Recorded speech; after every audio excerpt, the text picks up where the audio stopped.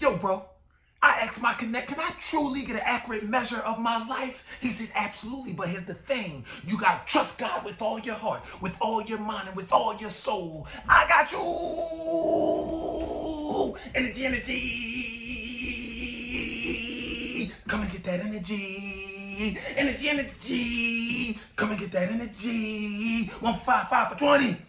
Energy, energy. Come and get that energy. I am Dr. Baxter, bringing you your dose of energy. Straight raw, no cut, no cough, no energy drink. Mindset, mindset, mindset. Use the correct scale. See, in order for you to get an accurate measure of your life, you're going to have to use the correct scale. So for you to measure who you are and where you are in life, you're going to have to measure you versus you, my friend. Use the correct scale and control your mind.